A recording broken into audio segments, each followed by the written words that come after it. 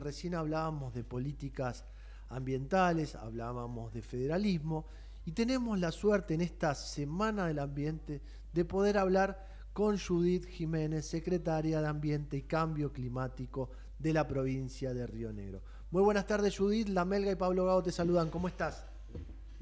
Hola, buenas tardes Pablo, ¿cómo estás? Buenas tardes a toda la audiencia. Un gusto, nos vimos el mes pasado en la jornada que hicimos en Neuquén y te agradezco públicamente la presencia, pero también tengo que agradecer a la provincia de Río Negro porque mostró estar un paso adelante de la situación o de lo que la actualidad pide, porque esto de hablar de ambiente y cambio climático nos ayuda a que las industrias, en el caso de Río Negro, demostramos la vez pasada, todo el tema energético está acompañado fuertemente por la control y fiscalización ambiental. Esto quiere decir que trabajan de la mano todos los días en la provincia de Río Negro. Sí, claro. Em, un poco lo que contaba el otro día en la jornada, que bueno, muchas gracias por invitarnos y también por dejarnos eh, también comunicar lo que se está haciendo en la provincia de Río Negro, eh, es que a partir de esta gestión, eh, Ambiente pasó a depender de la Secretaría de Estado de Energía y Ambiente, con lo cual a nosotros nos pone en un lugar estratégico porque la, la, mayoría de los proyectos que se están dando en la provincia son energéticos. Entonces, eh, lo que hace eso es ponernos en, un lugar donde se puede tomar una decisión, ¿no? Teniendo en cuenta el, el, tema ambiental y también pudiendo intervenir en ese proyecto ya desde el inicio. Entonces, a nosotros eh, nos viene, digamos, muy bien desde el punto de vista ambiental porque el proyecto sale con todas las consideraciones que tiene que tener. Dicho de otra manera, Judith, es que no se pierden tiempos, al contrario, como vos decís, desde el inicio se tiene la transversalidad del ambiente en la industria energética y también el compromiso de que ese proyecto, desde el gobierno, desde la industria y de las empresas de servicios, esté controlado y fiscalizado ambientalmente. Lo mismo pasa en la provincia de Neuquén. La verdad que en este evento que hicimos del Summit de Energía en mayo pasado en la provincia de Neuquén, nos llevamos una muy buena impresión de gobiernos como el de Neuquén y Río Negro que apuntalan todo su crecimiento a la industria energética, pero también que desde la política pública se le da sustento y además los equipos técnicos.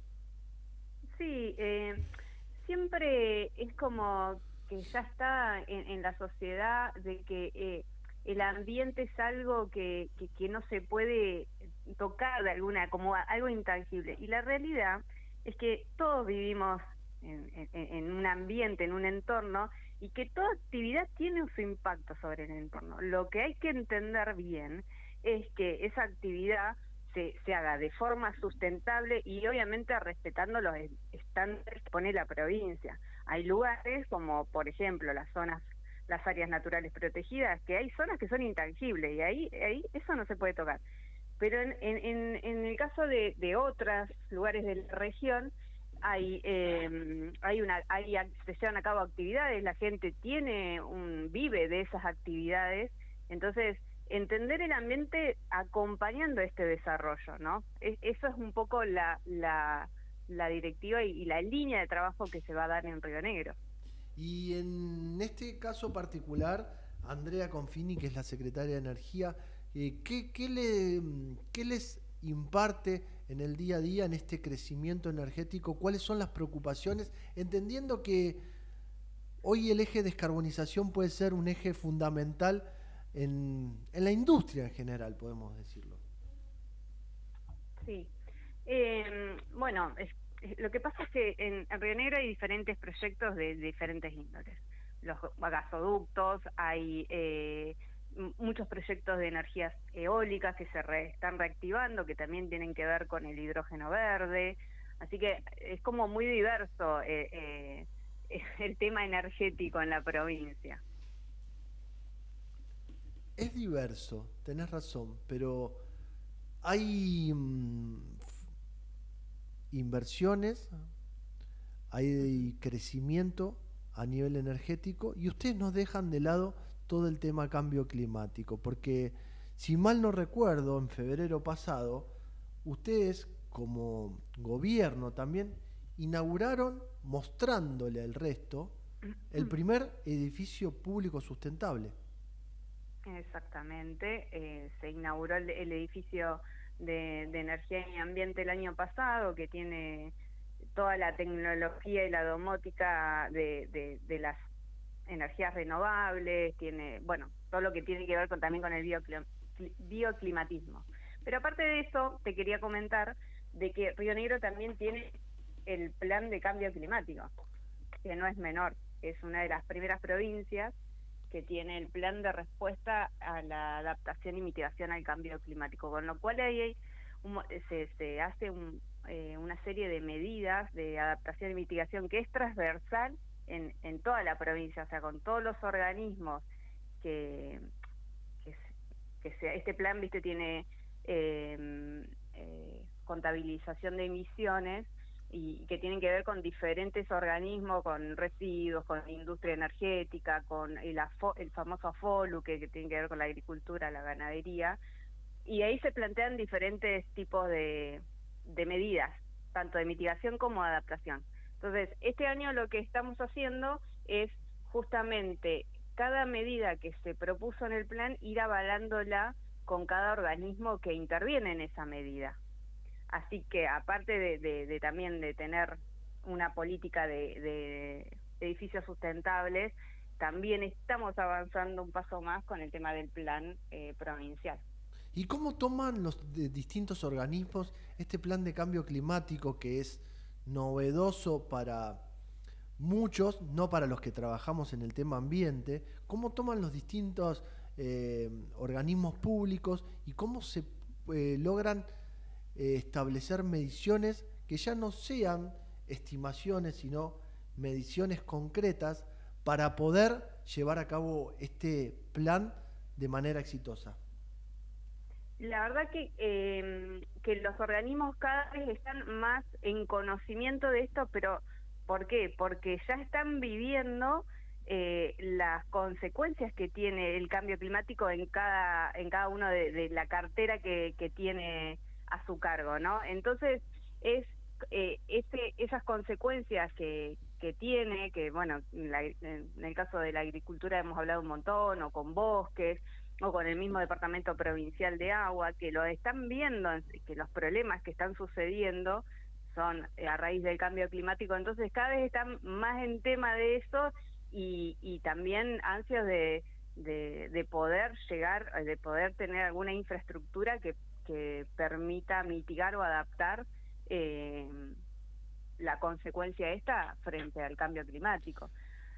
Y el tema del impacto climático, ¿cómo, cómo mm, repercute en una provincia tan linda? Tuve la posibilidad de ir en auto esta vez y recorrer el valle, entender la producción de, de frutas que hay tan importante en Río Negro. ¿Cómo repercute el tema del impacto climático en todo lo que es eh, la producción eh, y, eh, y está, está bravo el asunto porque porque cada vez hay eh, más más heladas en la en, por ejemplo en el valle o en el tema de de, de, la parte atlántica eh, el tema de las mareas y de las inundaciones que han habido eh, te digo, cada vez se siente, se siente más eh, en, todo lo que es la, la producción.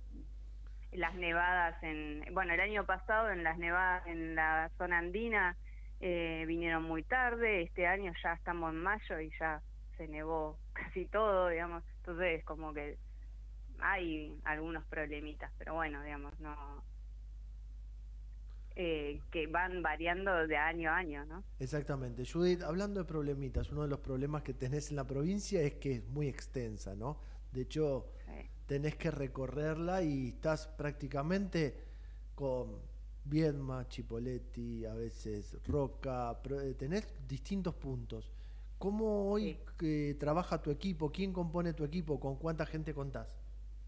Bueno, Eh, la Secretaría se divide en dos grandes áreas. Una es la parte de, áreas naturales protegidas, de biodiversidad, todo lo que tiene que ver con recursos genéticos. Antes teníamos fauna incluido, en, ahora, bueno, no está más. Y la otra parte es de control y fiscalización de, las industrias, ¿no?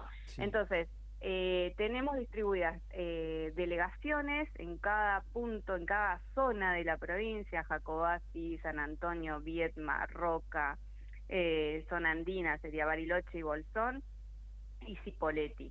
Y, y cada, cada una de las delegaciones está compuesta por agentes de las dos subsecretarías. Depende de la zona, es donde hay a veces más gente, por ejemplo, de guardas ambientales, en el caso de Bariloche, de Bolsón, que tenemos tres áreas naturales protegidas ahí, y la otra parte es de netamente de, inspección. Así que en total, en toda la provincia, tenemos como 80 personas que se dedican a las distintas áreas. Por eso, en una provincia extensa hay que entender y que esto está bueno para que el oyente entienda que hay provincias que por su extensión y por sus características, porque bien lo decías vos, no es lo mismo controlar Bariloche que, que, General Roca, por decir, ¿no? Eh, son no, no, cambia totalmente la geografía de, de la provincia y hay hay diferentes situaciones en cada área. Tenemos en la zona de Jacobal, una zona minera, después tenemos en la zona atlántica una zona con muchas áreas naturales protegidas también, mucho turismo, tenemos en la zona del Alto Valle mucha actividad minera y petrolera, o sea que en cada punto de la provincia hay diferentes situaciones que hay que abordar. Exactamente. Eh, Judith, agradecerte nuevamente este momento, que la provincia de Río Negro nos muestre su gestión a nivel ambiental, energético, podemos decir, porque dependen de la Secretaría de Energía, pero también demostrarnos que hay una Secretaría de Ambiente y Cambio Climático en la provincia de Río Negro que tiene una mirada amplia, en una geografía amplia, pero que con más de 80 personas pueden llevar a cabo la tarea y entender la problemática ambiental de una provincia tan linda que hemos recorrido. Muchísimas gracias y espero verte pronto. Bueno, muchas gracias a vos y un saludo a toda la audiencia. Que tengas buena semana y muy buena semana del ambiente.